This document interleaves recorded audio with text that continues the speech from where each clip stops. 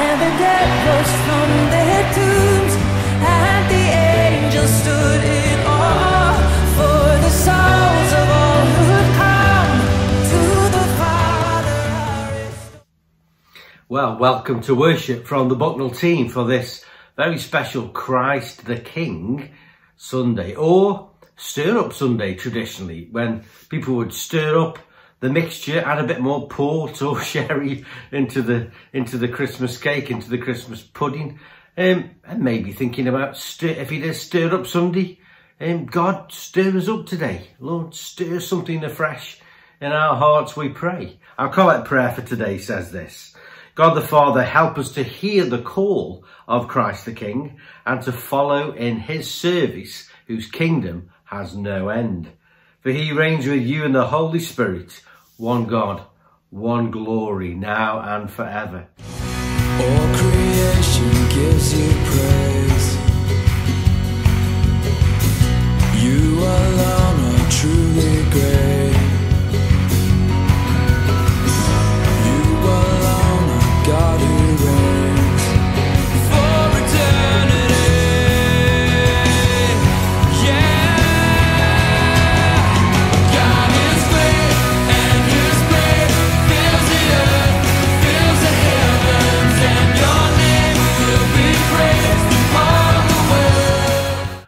So come on, let's worship Christ the King.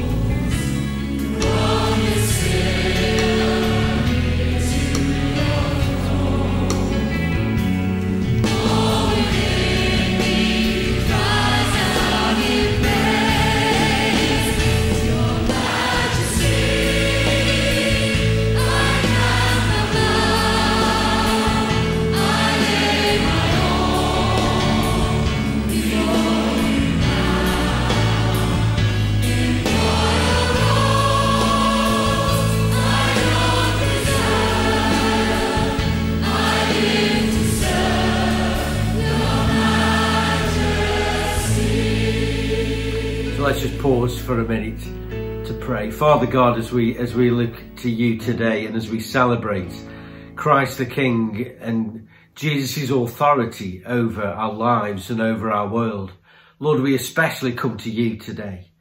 Lord, we pray that you would stir up something fresh in our hearts today, that we would recognize your authority over our lives, your kingship.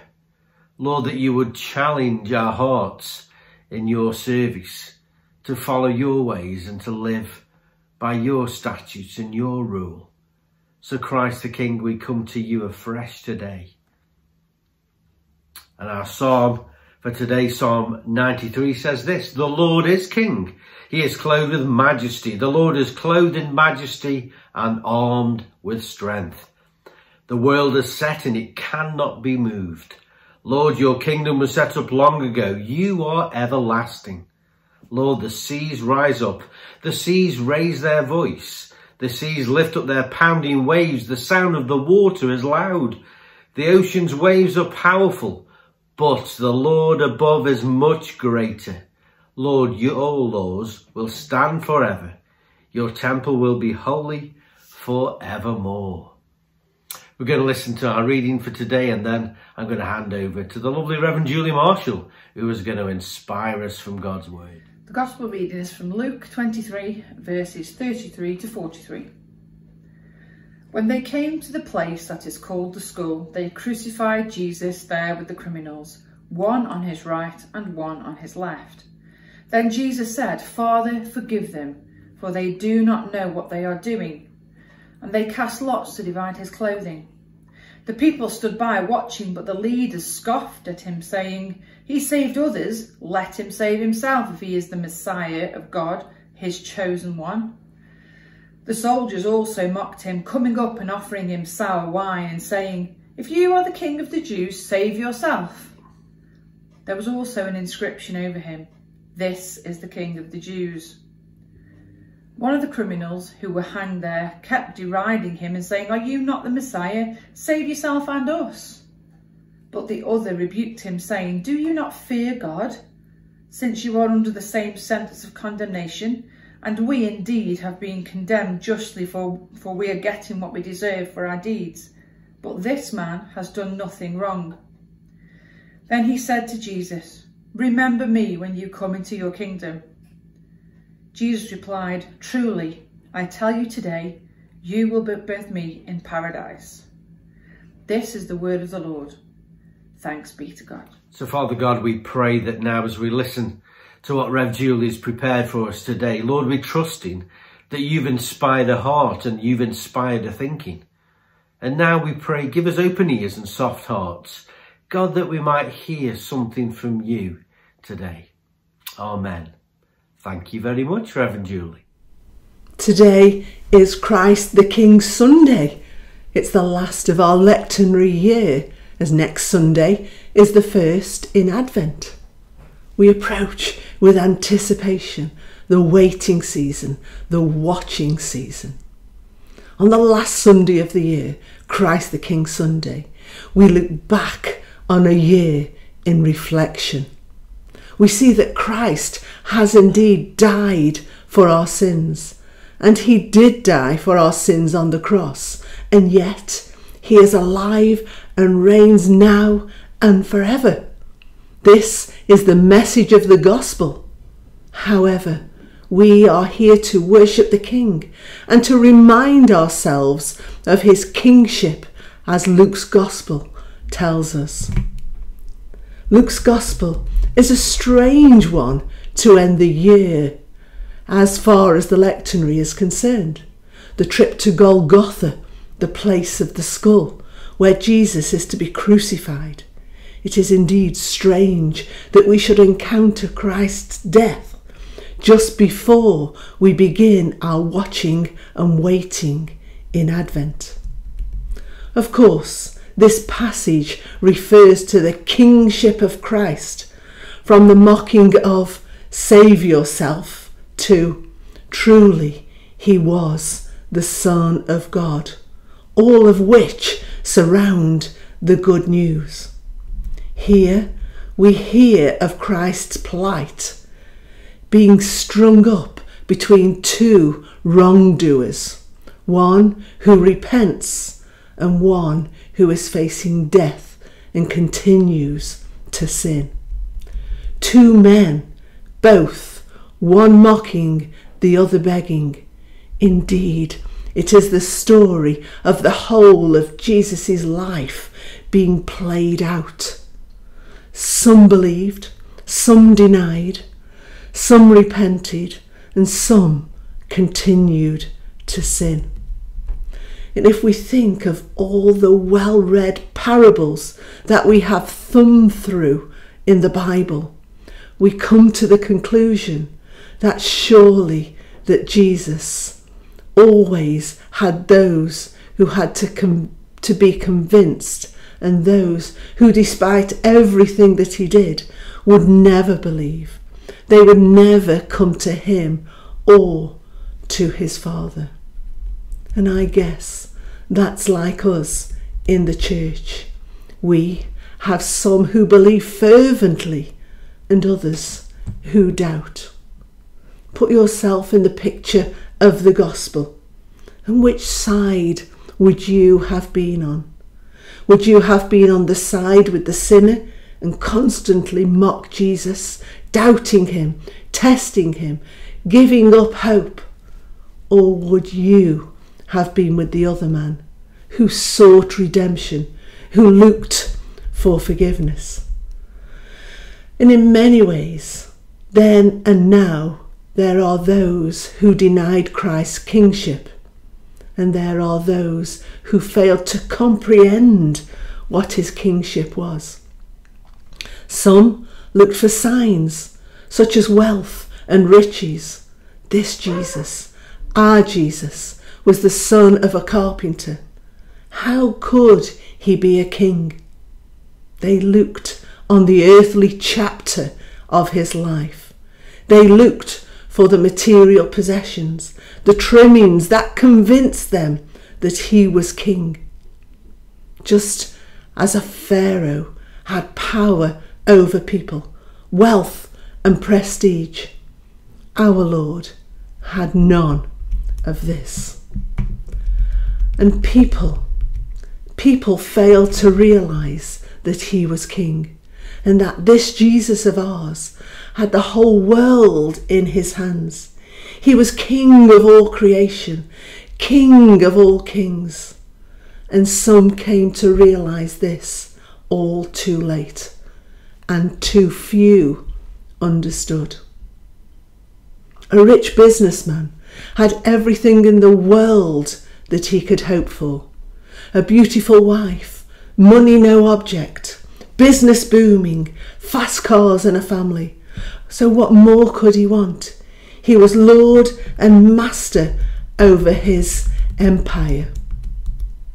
And there is the poor man, working all hours of the day and night, scrimping together just to provide a meal for his family and a roof over their heads. His kingdom was rented accommodation. His power was limited to his household. In wealth, in power, and in position, he was extremely poor and not worthy of an invitation to the table, some would say. The question is who was the richest man? Who was the happiest? On paper, of course, the rich man, it would have been the rich man. But he was also poor. He was poor in spirit, for he had everything, but he also had nothing. For his marriage was a sham, both he and his wife with serial adulterers, his family dysfunctional, for all they knew was wealth, the accumulation of wealth, and how to abuse themselves with drugs, drink, sex, and whatever other pleasures they could pursue. Short, sharp fixes, but no solution. The poor man, on the other hand, was extremely poor. He struggled, but his gains were appreciated by all his family.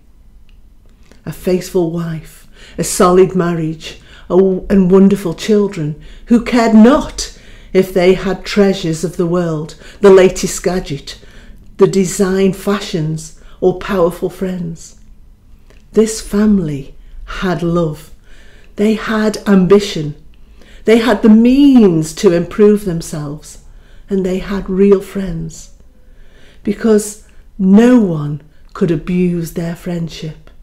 For they had nothing to gain.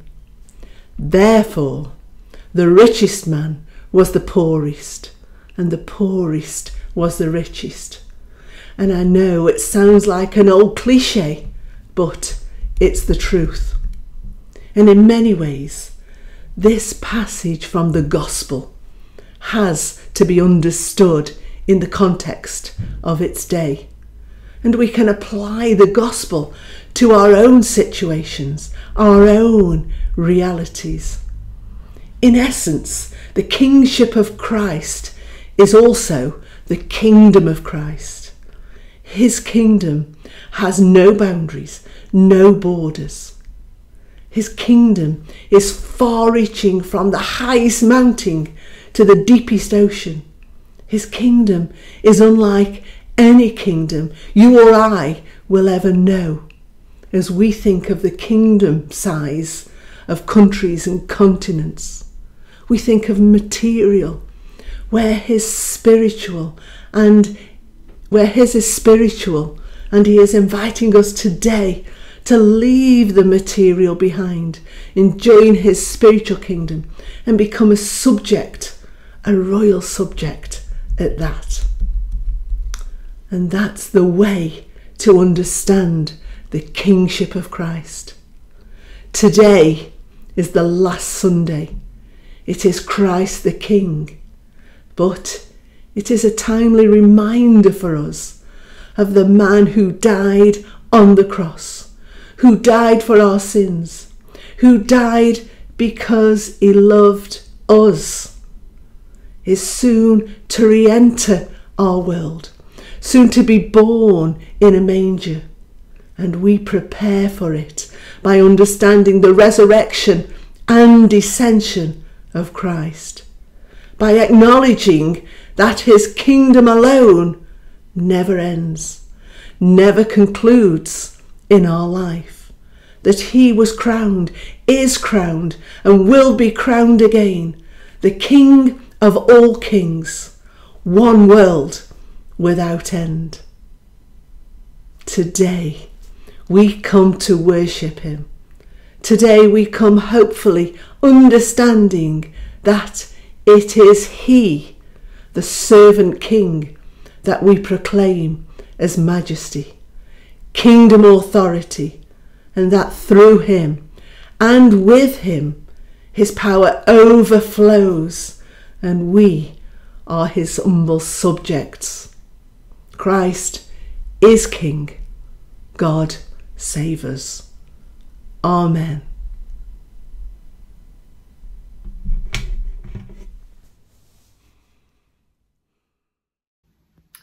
Thanks, thanks, Rev Julie. And we just take a few men, a few moments to just pause and to just think on God's word to us today.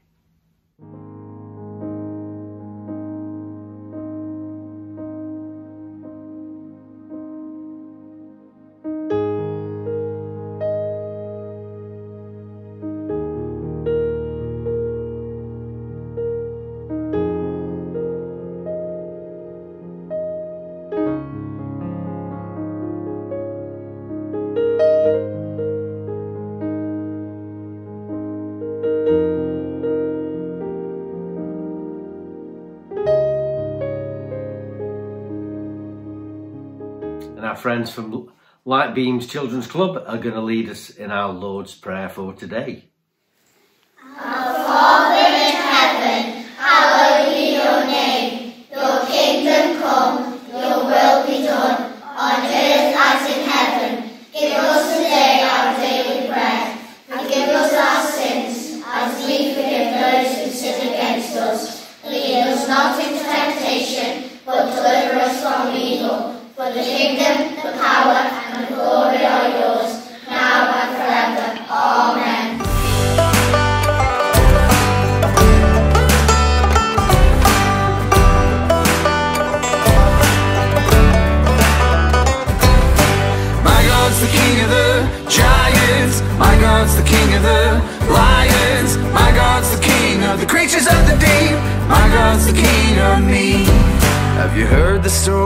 Friend King Dave?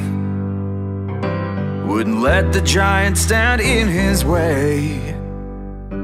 He said, Hand me my sling, cause he's not that tall. My God is bigger and I watch him fall.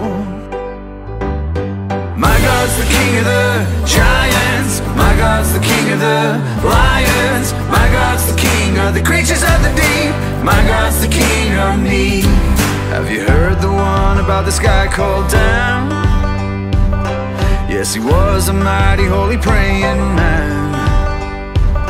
They said, throw him to the den of the scary beasts. But God saved a hero from the lion's teeth. Yeah! My God's the king of the giants. My God's the king of the lions. My God's the king of the creatures of the deep. My God's the king of me.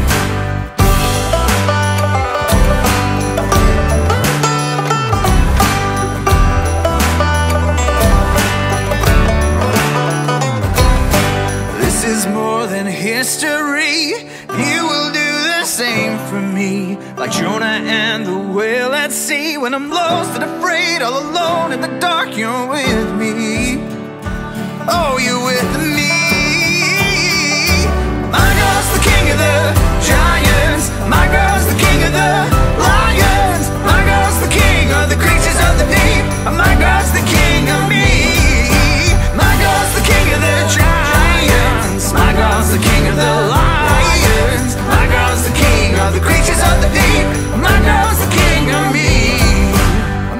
The king of me. So today, may God bless you. I wonder in what you've heard today as you've joined with us in our worship. I wonder how God has encouraged or maybe even challenged your heart. Let me leave you with this prayer. May God, the Holy Trinity, make us strong in faith and in love and defend us on every side and guide us in truth and peace. And the blessing of God Almighty, the Father, the Son, and the Holy Spirit be with you this day and always. Amen. So have a great day. Keep looking to Jesus, the King of Kings and Lord of Lords, and whatever comes your way, trust that you are now part of His kingdom, His rule, and His reign, and find your strength, your strength for today, and your hope from tomorrow from Him, King Jesus. Have a wonderful week. See you soon.